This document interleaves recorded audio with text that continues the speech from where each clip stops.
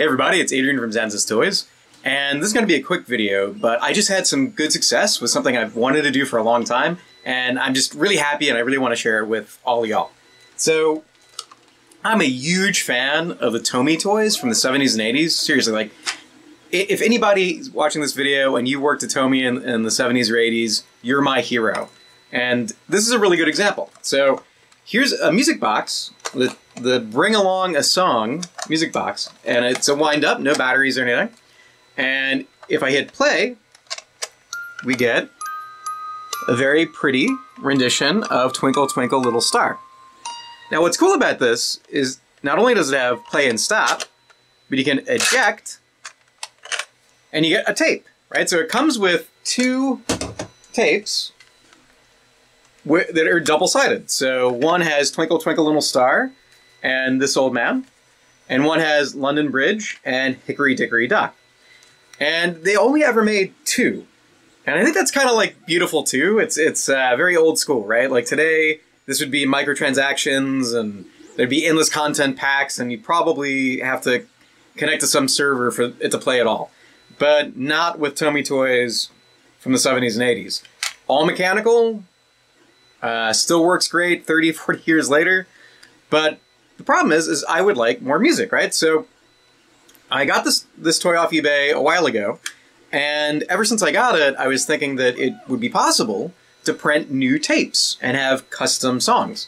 So uh, that's what I've done. So at least that's what I'm working towards. So what I've got is this. So it's not a song yet, but it's fully 3D printed. And just to show you that it does in fact work a little bit, I'm gonna put this in like so, like so, and I'll hit play.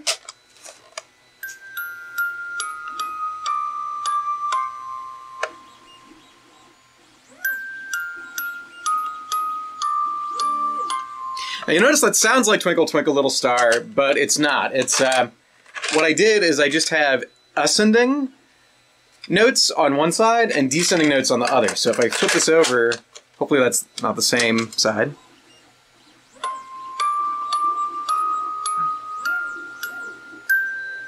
So it goes up.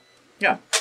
So what we've got here is I'll just go and open this up is I've got two sides the print print like this flat on the bed no support uh, went together pretty easily Oh, and I did print the axle separately, so this is, is separate. And the reason being that if you if you 3D print anything, you know that printing things narrow uprights, like in this orientation, is a great way for, to have them snap off. So uh, there's just a hole and a separate axle.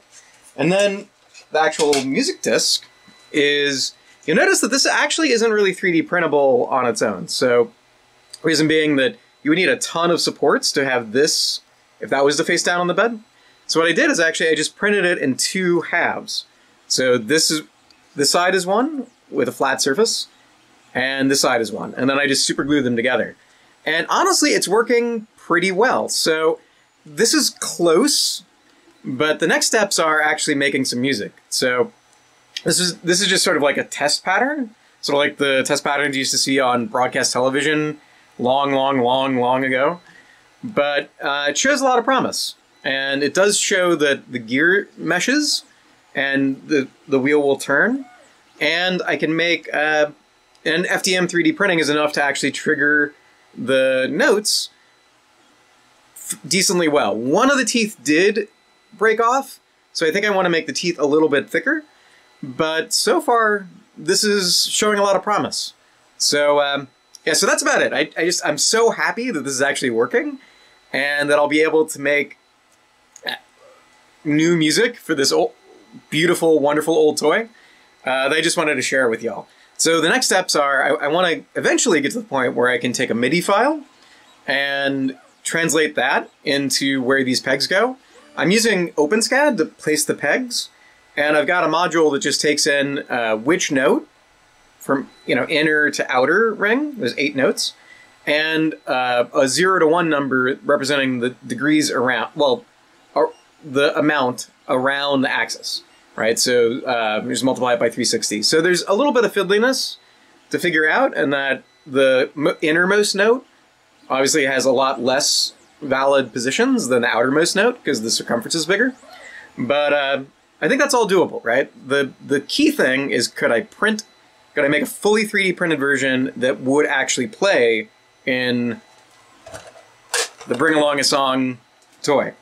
And it does. So I'm really happy about it. So that's about it for this video. Uh, I know I've been gone from videos for a long time, but I'm going to try to get back into it. And uh, I hope everybody's been staying safe as we head in towards sort of a light at the tunnel. And as always, thanks so much for watching. And if you like this kind of content, please like, sub subscribe, leave a comment. Tell, tell me what, what music would you like to see and then Bring Along a Song? Is there is a song from your childhood that you think I should I should make? Uh, let me know in the comments. Thanks a lot. See you next video.